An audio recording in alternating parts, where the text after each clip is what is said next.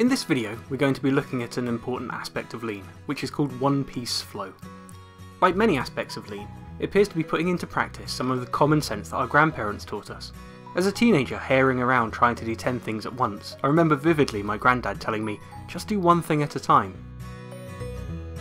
The ideal system, according to Lean, is one where things flow smoothly from one process to another without any delays.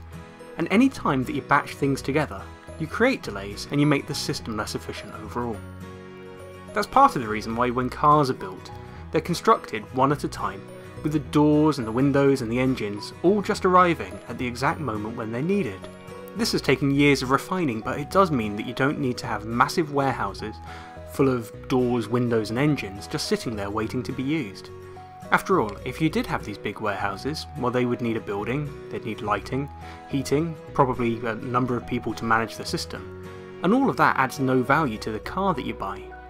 You wouldn't be willing to pay extra money for your car simply for the factory to have had a massive warehouse of parts sitting around. In lean terms, anything that is in the system that is partially done is described as work in progress, and reducing work in progress is a way to make the system more efficient. Work in progress can be a half completed car, but equally it could be a patient who's halfway through their treatment pathway. And there are lots of different examples of batching in healthcare. We often store up work to do at a later date, whether that's waiting lists of patients waiting for a particular therapy, or whether it's paperwork waiting to be processed. Now we're going to look at a couple of examples. One example is clinical notes. If you're a nurse doing a clinic, seeing three patients in that day, you could arrange your work in one of two possible ways. One way is that you could see three patients in the morning and then spend the afternoon writing up the notes. Alternatively, you could see a patient, do the notes for that patient, and then see your second patient, do the notes for that patient, and so on until you get to the end of the working day. And on the face of it, both approaches seem pretty reasonable, and intuitively you would think that they would both take the same amount of time.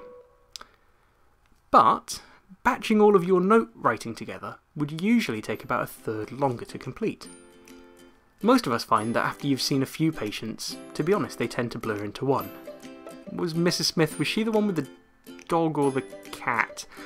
Mrs. Fry, did she say the things about the elephant? It's hard to know and it's hard to be precise, and that can be a source of errors. Equally, you might get halfway through typing up one patient's notes when you remember something about a patient that you typed up earlier, so you then have to go back into that patient's notes and re enter that information. By doing notes one at a time, you're able to let all of the information drop out of your memory and to move on with a much clearer head. You're not having to carry all of that information around with you.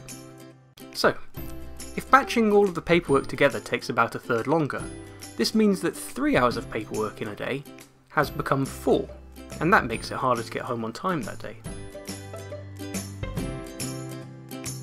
Another example is with dictation. Many doctors still use tapes for dictation, and typically a doctor will complete a clinic and have the dictation then sitting on a tape.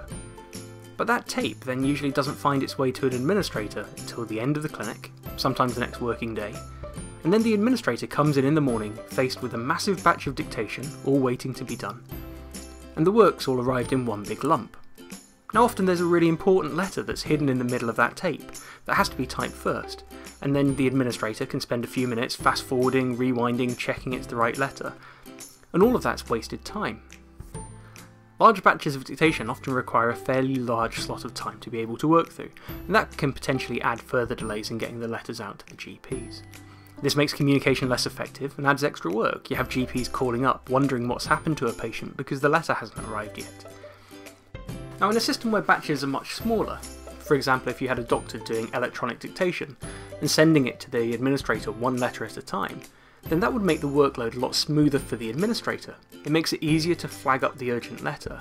And instead of waiting until the next working day to get started on the letters, you can do it in real time. And that reduces the total amount of time it takes to communicate with primary care and all of the work that might come from primary care contacting us to find out what's been happening. So, in terms of setting up a system of work, the theoretical ideal batch size is 1. Everything ideally should be done one thing at a time. But really it's not that easy. It's here that we know that the system holds workers back. The ideal batch size may be 1, But if you're seeing three patients in the community, far away from your team base, with IT that doesn't support you to do those notes as you go, you simply can't do things one at a time. You're being forced to work in a way that we know is not so efficient. Now this is one of the reasons why the Smart Recovery process is tackling mobile working. It gives you the option of doing those notes as you go, which overall makes things more efficient. It's also one of the reasons why we've moved towards a clinic, and we've been able to design the clinic hubs so that batch sizes are as small as possible. And if you have effective administration support, it becomes easier, and clinicians' time can be made as effective as possible.